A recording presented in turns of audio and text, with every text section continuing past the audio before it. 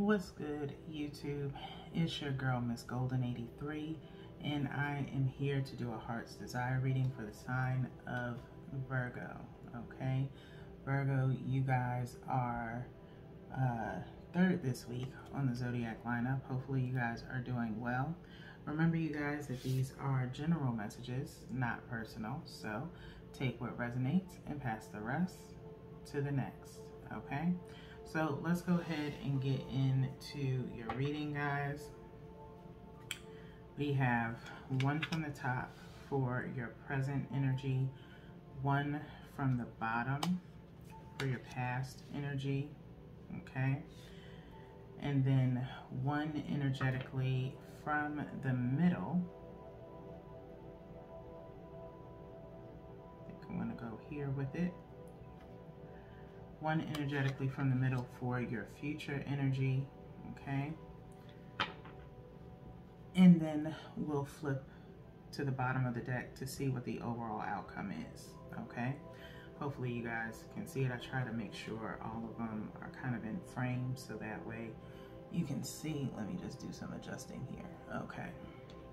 So let's see what's going on with you guys, Virgo. So we have Seven of Pentacles for your present, the Death card for your past, and then Five of Cups for your future energy, okay? So, automatically, you know, the words that I'm hearing is like disappointment, looking at this Five of Cups, primarily, okay, and could be because of this past and present energy, okay? So let's kind of get started. I try not to work backwards, but that was the first thing that kind of hit, so it was best for me to go ahead and get it out now, okay? So Seven of Pentacles is here. As you can see, this person is watering this palm tree. The pentacles are on, on it, okay? Presently, you're trying to nurture something, okay? Um, or trying to maybe get something to grow. It also speaks of longevity, okay? It's possibly some history um, with something that you're trying to keep um, afloat, if you will, okay? So the moon is there. So, of course, it is earth energy with that pentacles, seven of pentacles, um, but it could be some Pisces energy. Whenever I see the moon, I'm like now starting to assume that there's some Pisces energy in there somewhere, okay? So let's get to this death card for your past energy, okay? Um, the death card in this deck is, you know, a little bit, um, does kind of take you aback sometimes, okay, when this one comes out, um, because it's very definitive, okay, with the skeleton here in this pathway, okay? But death has, you know, more than one meaning, okay? Because it doesn't have to mean the end of something. It could just mean new beginnings. You have to look at things in a positive light. The death card is Scorpio energy, okay? So you could have Scorpio in your chart or have that energy somewhere around you, okay? So we won't know more about this until we get the clarifiers out.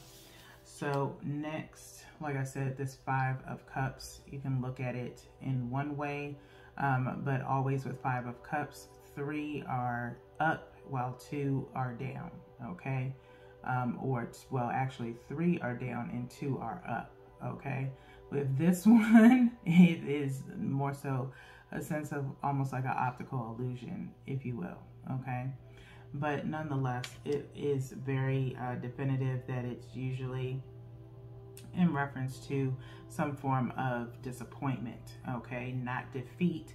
Defeat is uh, the Five of Swords, okay? Um, because you have people, you have more than one person in that card, okay? And that's how I label that one as defeat. This one is in reference to disappointment because if you think of the regular Rider's Waite, there's someone in a cloak looking down at the three cups that are turned down while not being able to see that there's two cups behind them, okay? And so it's a form of disappointment because maybe there's something in particular that you want or have a desire for, thus this being your heart's desire reading, um, that did not work out the way that you wanted it to, but you're forgetting that there's two cups behind you. Okay, there's still possibilities. Don't focus on the loss, focus on what you still have and the possible gains, even if it's at the loss of something. Okay, so with that being said, Virgos, let's look at the bottom of the deck to see what your overall outcome is. And wouldn't you know it? Some positive energy, okay? The Fool card being here okay? Which is talking about taking a leap of faith, okay? And is like the ultimate new beginning, if you will, okay? Whenever you take a leap of faith about something, um, it means that you are willing to open up to the infinite possibilities of new beginnings, period, okay? Or taking a new lease on life, if you will, okay? Um, appreciating things a lot more, okay, with this Fool card, all right? So, with that being said, let's get into these clarifiers with the Muse. Doing the same thing, one from the top for the Seven of Pentacles, one from the bottom for the Death card, and then one energetically from the middle. It's definitely some new energy coming in on your reading, Virgo. Um, whenever it takes me a little while to find that middle card, I literally energetically pick the actual card that I want to put down for your deck, I mean for your spread, okay, out of the deck. And so that usually is a signifier to me that there's new energy here. So I welcome new energy. Thank you for your viewership. While you're here, you can go ahead and hit that subscribe button so that way um, you can find out and know when I put readings out for your sign, okay? Um, Virgo, please, you know, and I, I hope you don't mind. Um, this is primarily for Virgo sun signs. However, um, there are other placements that possibly will come in as far as other Virgo placements. So hopefully you don't mind sharing with them, okay? So we have the seven of voices, seven on seven, okay? For your present, okay? Then we have the four of inspiration, all right? And then we have the six of materials, okay? So, let's just go one by one. Seven and seven on top of each other, 14 equaling out to five.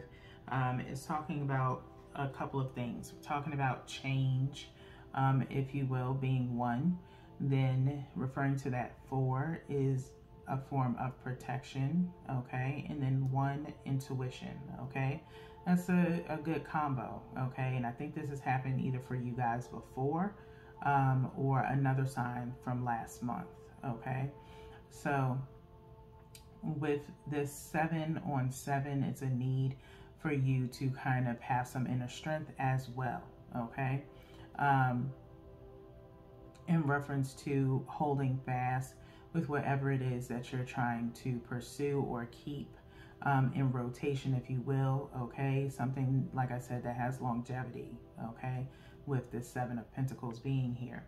With the Seven of Swords,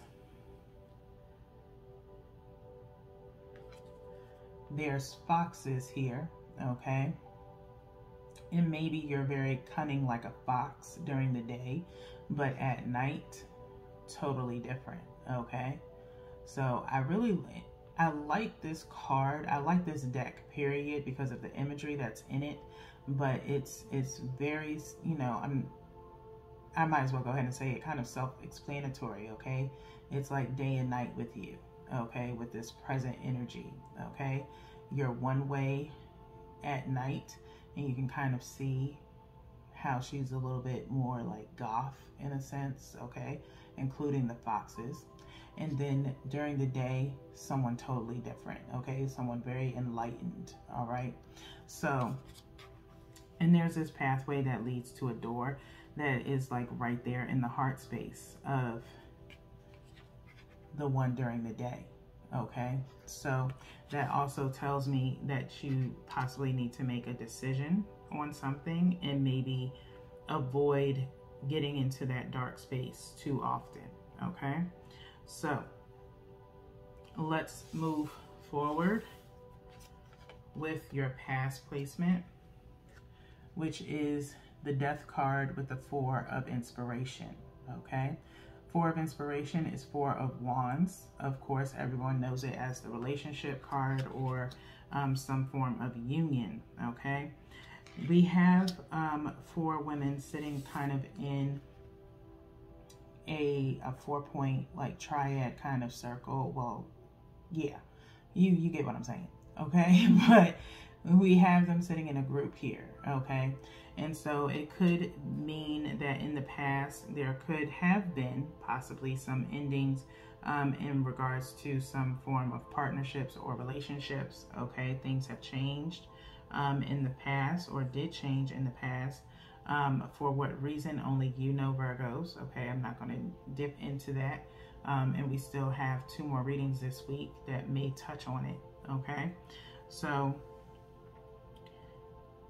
some form of either in the past, old relationships ending, and maybe in this present energy, you're trying to hold tight to one last possible connection, okay, with someone, all right?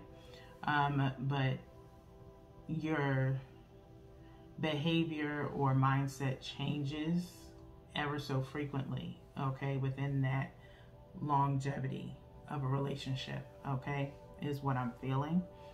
But in your past, old friends um, have changed, or maybe your connections have changed, and maybe you've received some new um, partnerships, okay, in the recent past, all right? Um, getting where you fit in for that, all right? Now, Five of Cups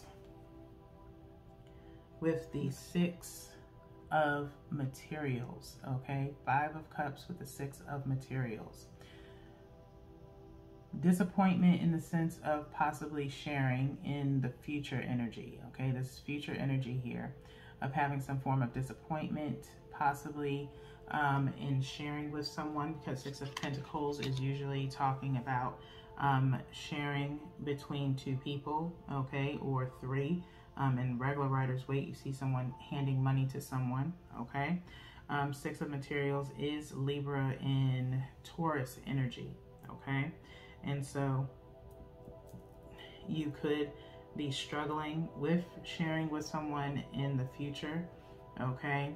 Um, it could be in a sense of finances for you, Virgo, um, maybe having to dish out a little bit more for something that you didn't really plan on uh, doing with.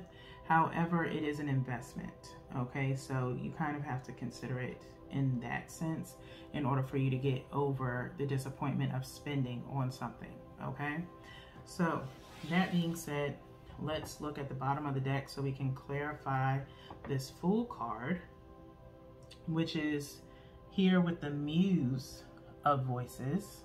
Muse of Voices clarifying the Fool card. Under the Fool card, there is the Six of Pentacles again, okay? but with the Six of Pentacles, it's almost like uh, balancing, okay? Still Taurus Libra energy, okay? So you have it coming up twice between both decks, okay? So you're going to have to spend something to get something, okay? That's what I'm feeling, okay? So with this Muse of Voices is talking about whenever, this is kind of like their minor arcana um, in this deck. And so it's mostly geared towards uh, that hope for something, okay? And so hopes for maybe some communication, okay, is what I'm feeling for you guys with this Muse of Voices. All right, you do have the Five of Materials, um, showing up at the bottom of that Five of Pentacles. Um, usually it's talking about leaving someone out in the cold, okay? And you may have to do that, Virgo, all right? You may have to disconnect from someone, okay? Um, and you, or you may feel at a loss because of how much you're having to spend, okay, to do something, okay? Your spending could be circled around travel, Um, or it could be a very high purchase that's necessary, okay? Um, you can't avoid it, all right? You may have been trying to avoid it possibly, um, but it keeps on popping up, okay? So if it keeps on popping up, that means it is meant for you to actually invest in this purchase, okay? It's unavoidable. It's something that's needed, okay? So kind of when it comes to your finances, if that's what um, is resonating with you, Virgos, if that is the situation, then kind of focus on what your needs are, not what you want right now, okay? Um, there may be a possibility with this Fool card that you will have to take a leap of faith on something that may cost you, okay? So outweigh your options, okay? If it's something that is not only going to provide you with more of your possible needs because it's something that you actually more so want than need, but it may come out to be useful in the long run, okay? That is what an investment is, okay? So you have to be willing to do that. So, going to get into your heart's oracle. I'm going to just shuffle one more time before we cut to get your final decision and or advice.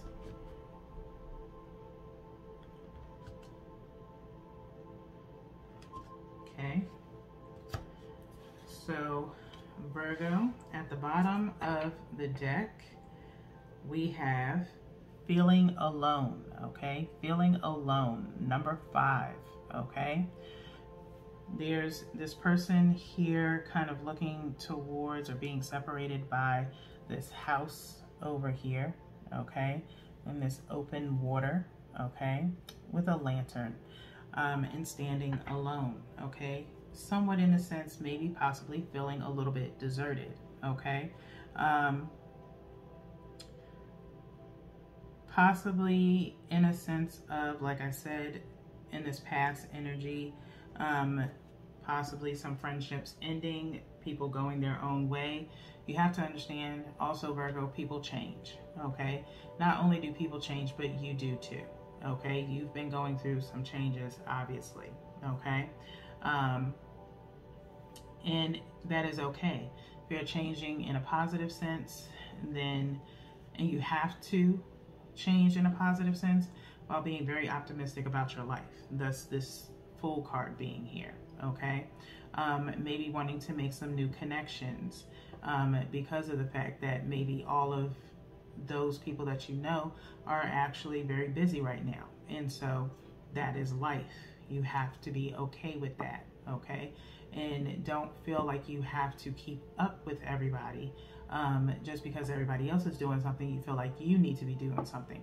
Maybe you've already done what you need to do and you're in this waiting process okay? Things will happen for you in due time okay? So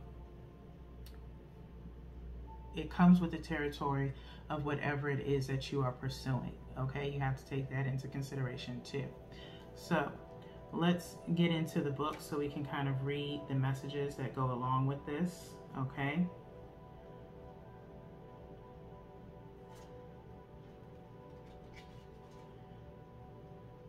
Page 85.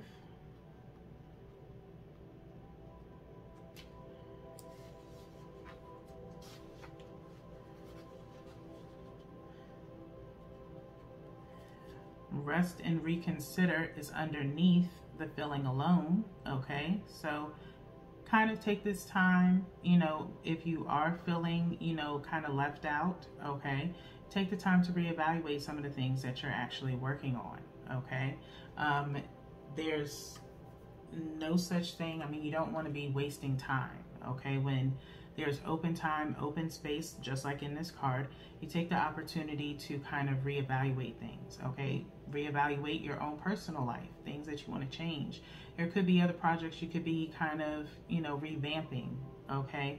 There's, this is your free time, okay? Your free time does not have to be uh, used up by being around other people, okay? So use that time. You have the free time. You never know. People may feel a little bit jealous or envious of you for having so much free time because they're busy and they want to have free time too, but they have work to do, okay? And so do you, all right? In other ways, okay? Where it may, where it may not be material, it could be more so uh, mental and emotional, okay? So your keywords here are lack, abandoned, insecurity, and support.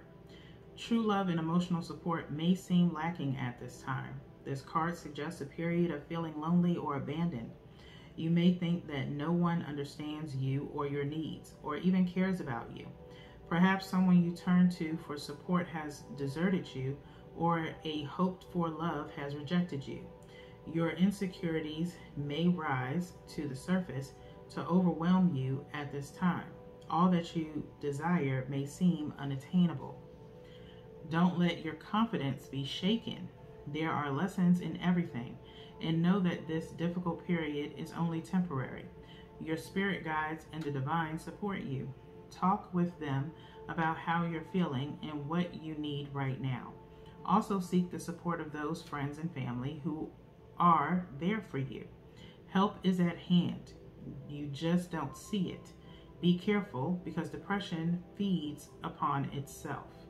Lift yourself out of it by doing something physical. Take a walk, exercise, sing, or even volunteer your time. You will feel better, and in doing so, will attract happiness into your life. Okay? Again, realize that things are only temporary where they are now and take advantage of the time that you have right now. Okay? So, with that being said, let's get into the power of surrender for your final message of support. Okay?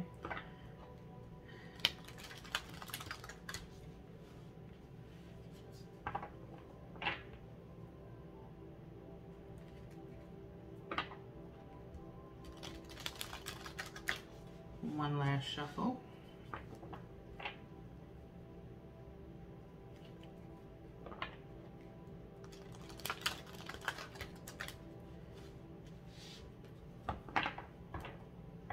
And then cutting by threes.